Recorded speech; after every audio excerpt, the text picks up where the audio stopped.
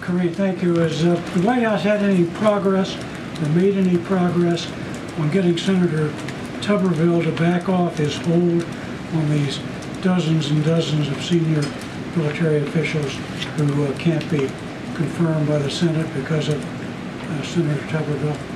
So look, I've talked about this many times and how um, dangerous what the senator is doing. I would, I would refer you to the senator directly and ask him those questions about why he's doing this uh, and what his next move might be. I just don't have anything else to share from here, uh, but certainly uh, we have talked about our disappointment uh, in, uh, in his reaction uh, to getting our nominees forward, who, which are incredibly important for the American people as we talk about national security, as we talk about moving, moving the agenda forward.